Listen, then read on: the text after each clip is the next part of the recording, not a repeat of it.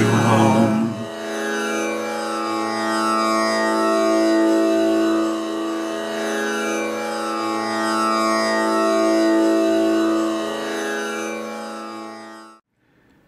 There is that sphere, monks, where there is no earth, no water, no fire, no air, no sphere of infinite space, no sphere of infinite consciousness, no sphere of nothingness, no sphere of neither perception nor non perception.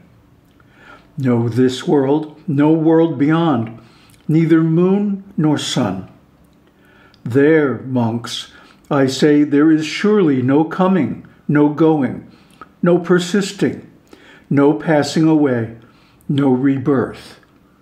It is quite without support, unmoving, without an object.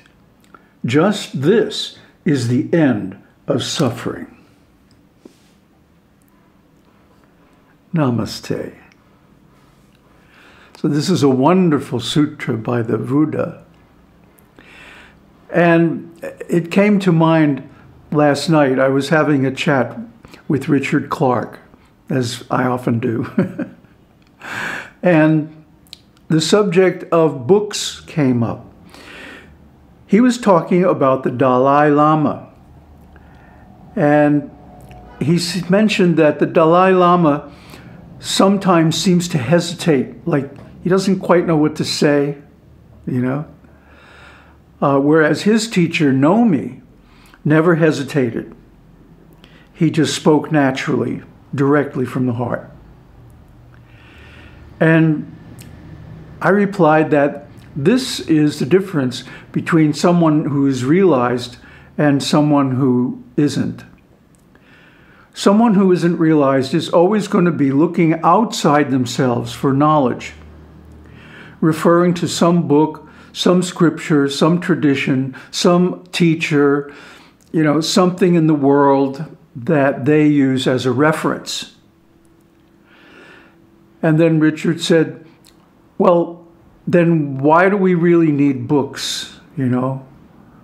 Why do we quote scripture like that?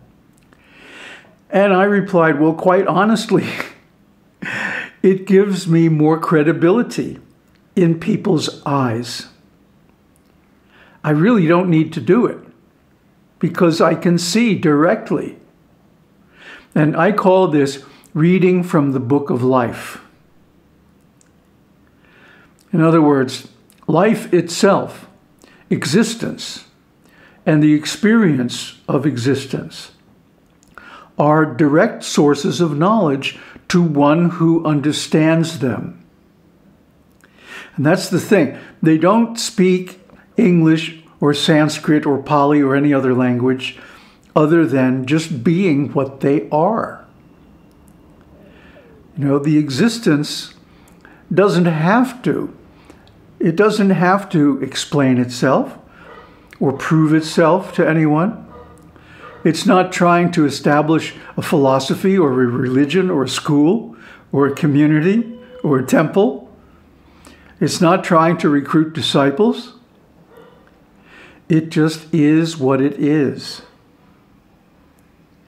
But you know, in today's world, people are always looking for justification.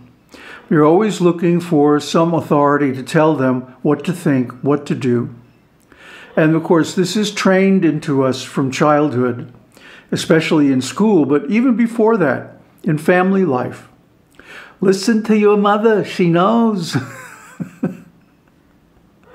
so, this is the experience we all have that we are, we are rewarded for looking outside ourselves for guidance. But there's no need because everything is there before us, spread out like the fold of a newspaper. All we have to do is read it. And there's the rub. You see, again, we've all been taught and conditioned to need words to express ourselves or to understand others. And words have their utility. You know, they're great for talking about things. But when we get beyond the range of things into the range of being, language fails completely. There's really no way to talk about these things except by making metaphors and similes. In other words, more or less poetic examples.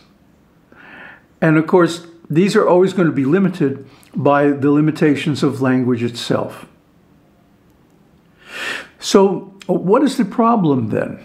Why do we think we need scriptures and teachers and gurus and all the rest? Why don't we just all read directly from the book of life? And of course, the answer is that we have been trained not to.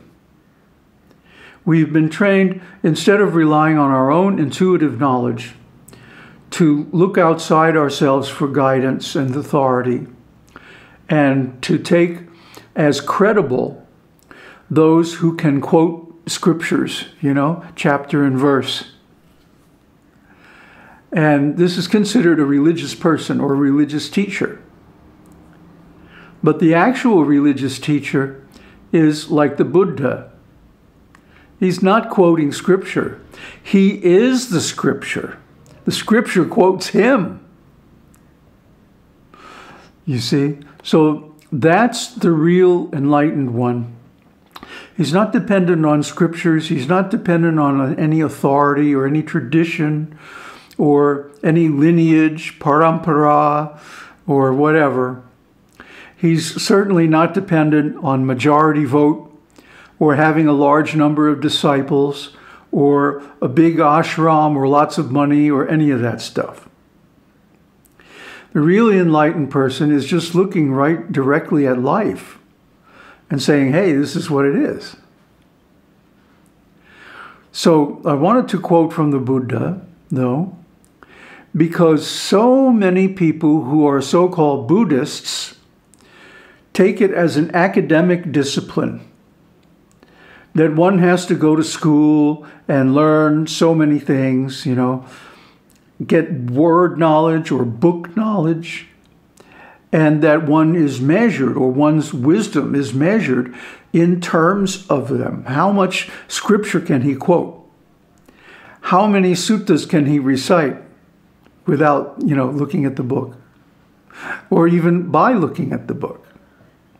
Does he know how to uh, give a good sermon? And this is the thing. What is the sermon about? Well, it's about enlightenment. And what is enlightenment? It means seeing things or seeing life as it is. Well, so why not just see life as it is and talk about that? this is why Lao Tzu said in his Tao Te Ching that one who speaks does not know, and one who knows does not speak. But in our modern world, what else can we do? The people who are interested in this thing, enlightenment, are few and far between. And the people who understand the language of transcendence are exceedingly rare. Krishna says, Manushyanam sahasreshu, out of thousands and thousands among men, maybe one will have a taste for transcendence. And out of thousands of those, only one realizes it in truth. So, this is the problem. How are we going to benefit the fallen souls of Kali Yuga by sitting quietly somewhere under a tree. you know, it's a limiting factor for the exercise of compassion. That if I was to just stand on a street corner and start speaking my truth or what I know to be true, people would regard me as a crank you know, or maybe crazy or who knows what. But probably the last thing they would think is that, oh, this guy really knows what he's talking about. And the reason is, as we have discussed, they think knowledge resides in books. But the real knowledge is to directly look at life and see what is there. I love to give the example of Turiya. Turiya is the highest state of consciousness. It is the state of consciousness that has the other states of consciousness as its object waking, dreaming, and deep sleep. So, without Turiya, we would not be aware that we're aware. We would not be conscious that we're conscious. We are all in Turiya consciousness every moment, even when we're in deep sleep. So, why don't we recognize it? Why don't we see it? Because nobody ever told us about it. Nobody ever directed our attention toward it. Nobody ever gave us a practice by which we could separate the seer from the seen. Huh? Drishya vivekaha. And for this reason, people in general are not aware that they're aware unless you specifically direct their attention to it. You know, I like to quote that story from Ramana. When somebody asked him, Well, how do I know if I'm enlightened or not? And he says, Well, are you aware? Uh, yeah. are you aware that you're aware? Mm, yeah, yeah. So then he says, self is already realized. So there's no specific process that one has to go through to attain the self or realize the self. Self is already realized. So then, why are we suffering? Why are we in ignorance? Why do we feel a desire to get liberated? or a desire for knowledge or truth? Well, it's because we have never really heard the truth. So we cannot recognize it even if it's right in front of our faces, which it is. so it's paradoxical, isn't it? Because we are in a state of ignorance and delusion, because we are covered over with desires,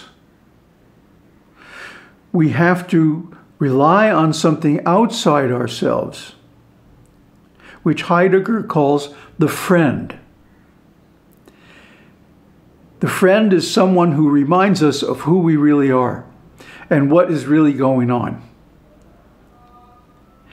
And Heidegger says, quite accurately, the friend is simply a reflection of the knowingness within ourselves.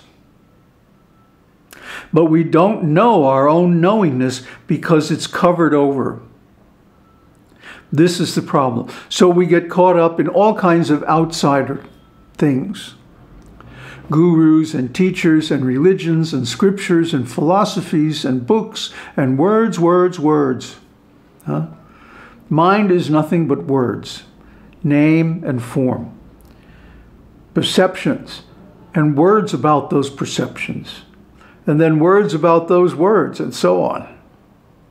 This is the trap. So, to get out of the trap, all we have to do is recognize what is. Read from the book of life. See all these truths that we read about in the scriptures before us that is the secret of self realization. Happy New Year, everybody. Ong Tat Sat. Aung Shakti Aung.